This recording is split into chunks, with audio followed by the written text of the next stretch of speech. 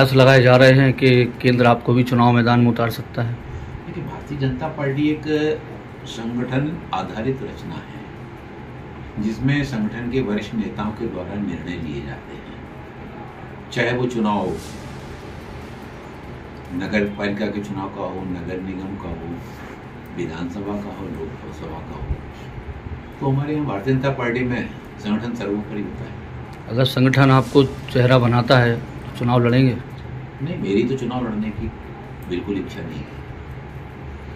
फिर भी party forum से अगर जिस तरीके से और केंद्रीय मंत्रियों के नाम आए हैं। देखिए ये ये उनके व्यक्तिगत निर्णय भी उसमें हैं बहुत सारे मतलब जनपद यूनियन के कुछ भी संगठन के द्वारा निर्णय लिए गए ये तो आने वाले वक्त के में दिशा ही तय करेगी कि किस तरह से मतलब चुनावी निर्णय लिए जाए